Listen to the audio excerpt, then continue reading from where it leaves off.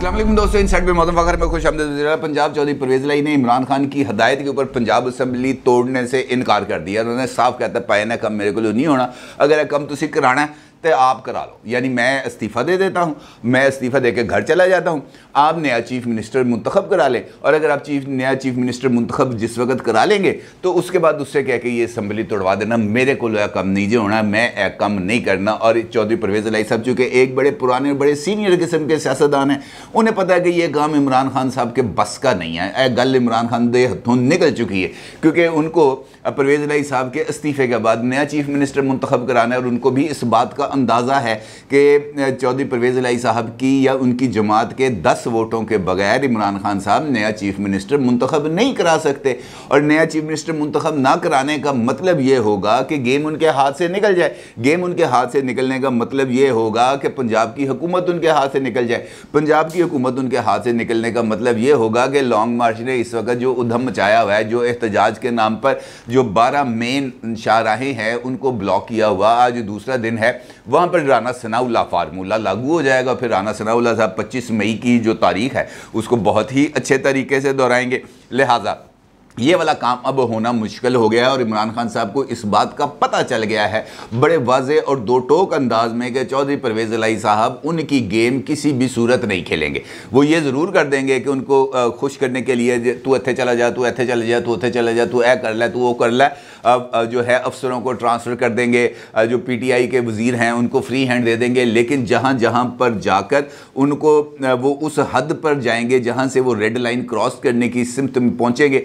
वहाँ से उन्होंने हाथ पीछे कर लेने हैं। वहाँ पे उन्होंने कहना पैजन मैं गिली था थे पैर नहीं रखना, मैं तत्ते तवे ते नहीं बैठ सकता। ये उनका पैगाम है और जो उन्होंने अपने अमल के साथ इमरान खान साहब को दिया है। दो मरतबा मुलाकात हुई है इमरान खान साहब से और इन दोनों मुलाकातों की, यानी जिस वक्त चौधरी परवेज लाई साहब और मोनस लाई साहब जाके इमरान खान साहब से मिले हैं, दो मरतबा मिले हैं कल। और इन दोनों मुलाकातों की कोई एक तस्वीर भी मीडिया के ऊपर जारी नहीं की गई।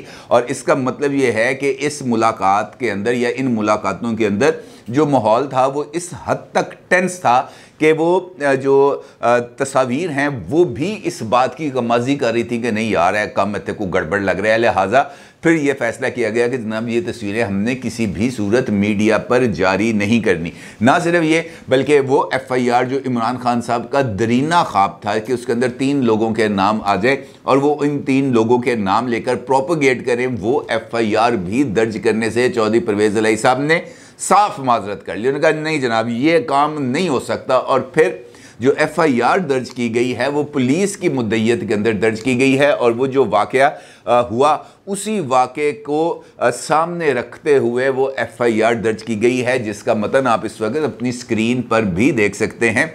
और वो एफ़ आई आर एक, जिसे हम कह सकते हैं ना, कि एस आई सब इंस्पेक्टर की मुद्दत के अंदर दर्ज की गई और उसने उस वाक़े की तफसील लिखते हुए जो बंदा नवीद पकड़ा गया है उसी को उसका मुलजम करार दिया और मुख्तलिफ़ दफ़ात के तहत एफ़ आई आर दर्ज करके जबते की कार्रवाई का आगाज़ कर दिया गया है। अब ये वाला मामला भी इमरान खान साहब के लिए एक बहुत बड़ी दर्द सर है क्योंकि ये एफ़ आई आर को अगर वो तस्लीम कर लें तो उनका नरेटिव डूब जाता है। अगर वो तस्लीम नहीं करेंगे तो फिर जो है वो पंजाब हुकूमत पर एतराज़ आएगा कि भजन ताड़ी पंजाब हुकूमत से तुम एफ़ आई आर क्यों नहीं दर्ज करा सके? भाई आप ले, निकले लेने निकले हैं हकीकी आज़ादी और दावे हैं अमरीका को एब्सोल्युटली नॉट कहने का। और जो है, हकीकत ये है कि एक एफ़ आई आर आप दर्ज नहीं करा सकते। किस तरह जस्टिफाई करेंगे? अपने लोगों को नहीं जस्टिफाई कर सकते।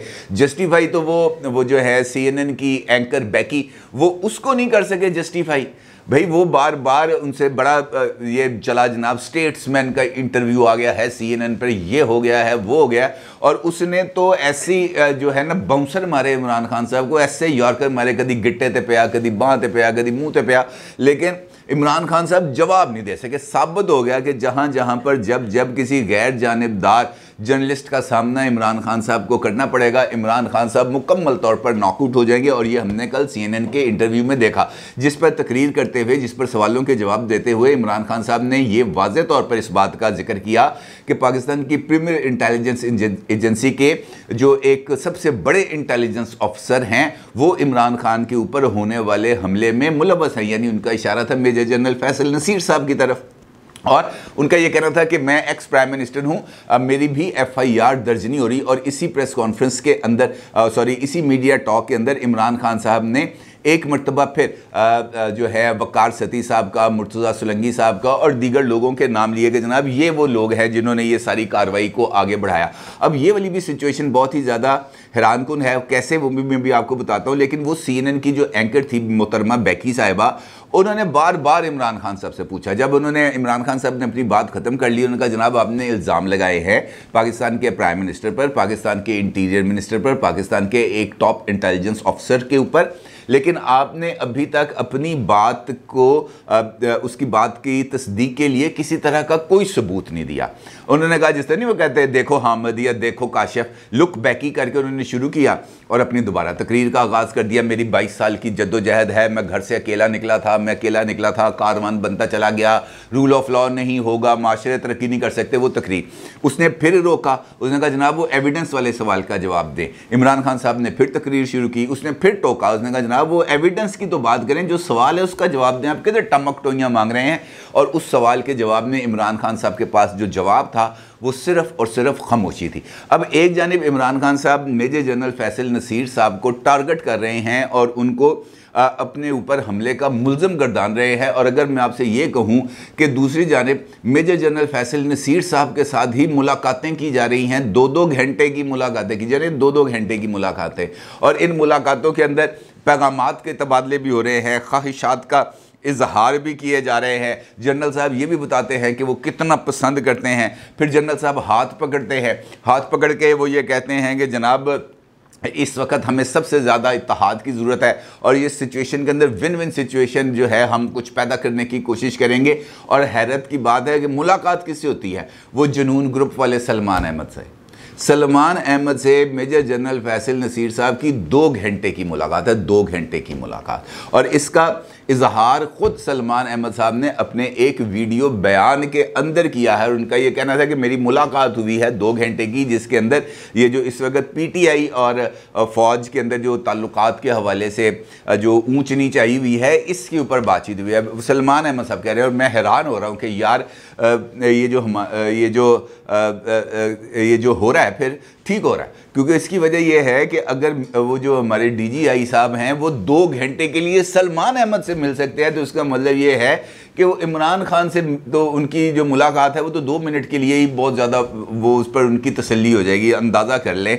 कि अगर इस तरीके से निज़ाम चलना है तो फिर दावे अपनी जगह पर और बातें अपनी जगह पर, हकीकतें अपनी जगह पर। इमरान खान साहब टारगेट भी कर रहे हैं, बंदे भी भेज रहे हैं, मुलाकातें भी कर रहे हैं विन विन सिचुएशन के फार्मूलों के ऊपर भी गुफ्तु हो रही है। लेकिन जो है ना, वो अपना बाबा ऊँचा रख के उन्होंने बात करनी है, इसके अलावा कुछ नहीं। अब इमरान खान साहब जब अपने इंटरव्यूज़ के अंदर जर्नलिस्टों और ख़ास तौर पर वकार सती का नाम लेंगे या दीगर जर्नलिस्टों का नाम लेंगे तो फिर तो आप, इसका मतलब ये है कि आपने जर्नलिस्ट को वो जो है, मुकम्मल तौर पर जो अपने जो उनका है ये जो की कीबोर्ड वॉरियर्स और या जो इनका गालम गलूच ब्रिगेड है, उसके सामने ला के खड़ा कर दिया। फिर उसका नतीजा ये निकला कि इस वक्त भी ट्विटर के ऊपर ये जो लफाफा जर्नलिस्टों के हवाले से ना, वो लिखा हुआ गलाजत से लुथड़े लफाफा सहाफ़ी, वो ट्रेंड चल रहा है इस वक्त। और उसके अंदर अगर आप देखें, उस ट्रेंड के अंदर जाएँ तो आपको पता चलेगा कि वो किस तरीके से एक नेगेटिव कैंपेन है। भाई, आपकी बात से इख्तलाफ हो सकता है, आपकी ज़ात से इख्तलाफ हो सकता है, आपकी सियासत से इख्तलाफ हो सकता है। आपकी पॉलिसी से इख्तलाफ हो सकता है। क्या मुझ समेत, मेरा भी उसके अंदर उन्होंने वो चलाया हुआ है ट्रेंड के अंदर ना। अब क्या हमें इस बात का बतौर शहरी पाकिस्तान के क्या हमारा दस्तूर हमें अपनी राय देने का इख्तियार नहीं देता? अगर आप अपनी राय दे सकते हैं, आप अपने लोगों के नाम बता सकते हैं, आप ये कह सकते हैं कि इन लोगों की एफ़ आई आर दर्ज करो। आप लोगों को हर वक्त चोर, डाकू, लुटेरा मनी लॉन्ड्रर कह सकते हैं। आप हर किसी के ऊपर कत्ल के इल्ज़ाम आयद कर सकते हैं। आप हर एक को जो आपके खिलाफ बात करता है, आप उसको लफाफा करार दे सकते हैं। तो क्या हमारा ये राइट नहीं नहीं है कि हम अपना व्यू पॉइंट लोगों के सामने रख सके। लोग इस बात का फैसला करें कि मेरा व्यू पॉइंट दुरुस्त है, बाकी दोस्तों का व्यू पॉइंट दुरुस्त है, या इमरान खान साहब का व्यू पॉइंट दुरुस्त है। ये तो फैसला लोगों ने करना है, वक्त ने करना है, तारीख ने करना है, हालात ने करना है। लेकिन इसका मतलब यह है कि हम शुरू हो जाएँ, हम हर एक जो डिफरेंस रखता है आपकी राय से, हम उसको जो है अपनी सफ़ों से निकाल दें हम कहें, नहीं जनाब नहीं नहीं नहीं, ये शुदर है, इस खबरदार इसके साथ बात की। ऐसे नहीं हो सकता। निज़ाम इस तरीके से नहीं चल सकते। और निज़ाम को अगर हमने वाक़ता ठोस बुनियादों पर इस्तवार करना है तो फिर उसके लिए ये जो गुंजाइश है दलील की, वो हमें बरकरार रखनी है। अगर हम दलील की गुंजाइश को ख़त्म कर देंगे, अगर हम मकालमे को अपनी गुफ्तगु से निकाल देंगे, अगर हम मुकालमे के ज़रिए एक दूसरे को कायल नहीं कर पाएँगे तो फिर वही होगा जो इस वक्त हो रहा है। बारह मुकाम जी टी रोड, मोटरवेज के ऊपर बंद कर दिए गए हैं, दूसरा दिन हो गया है आज। और पंजाब पुलिस और के पी के पुलिस कि सर, वो जो है ना जेर निगरानी, ये तमाम चीज़ें बंद हैं। पुलिस रास्ते क्लियर करने की बजाय सिक्योरिटी के ऊपर लगी हुई है। अब क्या एहतजाज इमरान खान साहब का हक है? तो सड़क के ऊपर सफ़र करना मेरा या आपका राइट नहीं है? बच्चों का, मेरे और आपके बच्चों का स्कूल जाना, कॉलेज जाना, यूनिवर्सिटी जाना, पेपर्स देना, क्या हमारा राइट नहीं है? क्या राइट ऑफ़ दी वे सिर्फ़ इमरान खान साहब का, बाकी पाकिस्तान के किसी भी मखलूक का, किसी भी शहरी का ये राइट ऑफ़ दी वे नहीं है कि वो जाके, वो जो सड़क, जो हुकूमत पाकिस्तान ने मेरे और आपके टैक्स के पैसे से बनाई है, उसको हम रोक के बैठ जाएँ कि नहीं जनाब, नहीं, ये नहीं हो सकता, इस सड़क से हमने नहीं गुजरने देना, क्योंकि इमरान खान साहब का यहाँ पर हुक्म है, हमने यहाँ पर टेंट लगा के हमने बैठना है। बीस बंदे बैठे हुए हैं, पचास पुलिस वाले उनके इंतज़ार में हैं, और हज़ारों की तादाद में लोग रुल रहे हैं, सड़कों पर चीखों मुकार बची हुई है, लोगों की फ़्लाइट्स मिस हो गई। हॉस्पिटल में लोग नहीं पहुँच सके। कितनी इस हवाले से शातें मौजूद हैं। और फिर दावा यह है कि मैंने कभी कोई मेरे एहतजाज के अंदर कभी कोई पत्ता टूटा है? कभी हमने कोई गमला तोड़ा है? कभी हमने कोई आग लगाई है? कभी हमने कोई जलाओ घराव किया तो ये जो हो रहा है, ये जो टायर जल रहे हैं, ये जो सड़कें रोक के बैठे हुए हैं, लोगों के गुजरने ये क्या ये पुरमन एहतजाज? इसको अगर पुरमन एहतजाज कहते हैं तो फिर पुरतशद एहतजाज क्या होगा? फिर तो जो है ना पुरतशद से मुराद ही होगी कि बंदों को पकड़ के जो मुखालफ राय है, उसको सड़क पर लटाए, पेट्रोल छिड़को, आग लगा दो। फिर यही हो सकता है पुरतशद इसके अलावा पुरतशद और कोई नहीं हो सकता। और शायद इमरान खान साहब ये जो चीज़ें हो रही हैं, इसको जो है वो नुक्स अमन नहीं समझते। वो नहीं समझते कि ये जो है पुरमन एहतजाज नहीं है। सड़कों पर बैठ जाना पुरमन एहतजाज नहीं है। ट्रैफ़िक को रोक देना पुरमन एहतजाज नहीं है। शहरीों की ज़िंदगी के अंदर खलल डालना, वो कहते हैं, ये पुरमन एहतजाज है। ये इसके अंदर किसी तरह का कोई सिचुएशन ऐसी नहीं है जिसके ऊपर जो गौर किया जाए। फिर, जो, जिस तरह मैंने आपसे गुजारिश की, कि पंजाब हुकूमत ने इमरान खान साहब को मुकम्मल तौर पर, मैंने ये वाली जो चीज़ें हैं, वहाँ पर जाकर वो उनको सपोर्ट एक्सटेंड करेंगे कि, ठीक है जनाब, पुलिस खिलौती रहे। एफ़ आई आर दर्ज कर लो। पुलिस खड़ी रहेगी सिक्योरिटी देगी, सड़कें बंद हो जाएँगी। इसके अंदर पंजाब हुकूमत को किसी तरह का कोई प्रॉब्लम नहीं होगा। पंजाब हुकूमत को प्रॉब्लम होगा एफ़ आई आर पर नामों पर, या उनको प्रॉब्लम होगा हुकूमत पर। क्योंकि जो ज़राए हैं, उनका ये मानना है कि कल की जो मुलाकातें थी, वो बहुत ज़्यादा इंटेंस थी। बहुत ज़्यादा शदीद थी और चौधरी परवेज़ अली साहब दो मरतबा जब मिले थे तो उन्होंने इमरान खान साहब को अपने मौक़ में तब्दीली लाने पर आमादा करने की कोशिश की थी। और इमरान खान साहब ने इस पर उनसे माजत कर ली थी। उन्होंने कहा था, नहीं जनाब, ये जो एफ़ आई आर में जो तीन नाम दर्ज होने हैं, ये वही होंगे तो इस एफ़ आई आर को हम कबूल करेंगे अदरवाइज़ हम कबूल नहीं करेंगे। और फिर पी टी आई के जो टॉप लीडरशिप है, उसकी तरफ़ से इस बात का इजहार भी किया गया। फवाद चौधरी साहब ने भी ट्वीट किया, असद उमर साहब ने भी ट्वीट किया। असद उमर साहब कहते हैं, मुल्क में कायम निज़ाम की हकीकत आवाम के सामने खुलकर आ गई है। चंद फर्द नहीं, बल्कि पूरा निज़ाम बरहना हो गया है कौम के सामने। इसी तरीके से फवाद चौधरी साहब, शीरी मजारी, बाकी सब लोगों ने भी ट्वीट किया है। अब उसी जो मीटिंग है, जिसका मैं आपके साथ ज़िक्र कर रहा था, उसी मीटिंग के अंदर इमरान खान साहब ने कहा कि जनाब, अगर आप एफ़ आई आर दर्ज नहीं करा सकते तो फिर पंजाब असम्बली को तहलील कर दें। पंजाब असम्बली को तोड़ दें। जिस पर चौधरी परवेज़ लाई साहब ने कहा कि, जी, मैं इस पर भी माजरत चाहता हूँ। मैं पंजाब असम्बली तहलील नहीं करूँगा, बल्कि अगर आप कहते हैं तो मैं वजारत आला से इस्तीफ़ा दे देता हूँ।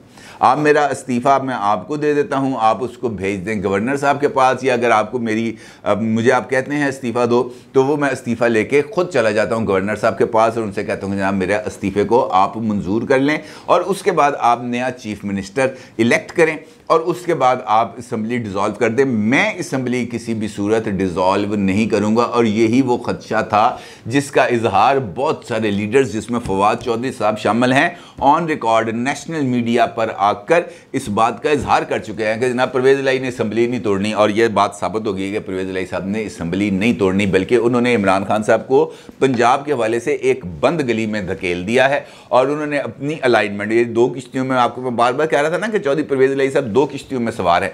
अब उन्होंने इमरान खान को बता दिया है कि वो किस किश्ती को रिलायबल समझते हैं और वो उसी किश्ती के अंदर सवारी करेंगे और उसी किश्ती के अंदर अगला जो अपना सफ़र है वो जारी रखेंगे। इमरान खान साहब आ गए हैं बंद गली में, क्योंकि अगर वो चौधरी परवेज लाई साहब से कहते हैं कि इस्तीफ़ा दो, तब भी उनके लिए प्रॉब्लम है। वो कहते हैं, चौधरी साहब तुम कंटिन्यू करो, तब भी उनके लिए प्रॉब्लम है। और इस सारे स्नैरियो के अंदर अगर ये बेअमनी बढ़ती है, पंजाब के अंदर जिस तरीके से खदशात ज़ाहिर किए जा रहे हैं कि मज़ीद कुछ पुरतशद वाक़ात हो सकते हैं तो इसके बाद जो पंजाब के अंदर कुछ और इकदाम भी किए जा सकते हैं मेरा ख्याल है कि शायद उसके लिए इमरान खान साहब अब आप देखेंगे, जल्द ही एक नया नैरेटिव बिल्ड करेंगे और इस सिचुएशन में रावलपिंडी में आज होने वाला कोर कमांडर्स का जो इजलास है, वो बहुत ही ज़्यादा अहमियत का हामिल है। उस इजलास के अंदर कुछ बहुत इंपॉर्टेंट डिसीजंस होने जा रहे हैं। जिनका ताल्लुक हमारे इंटरनल सिक्योरिटी एक्सटर्नल सिक्योरिटी दाखिली मामला और बेशुमार चीज़ों के साथ है।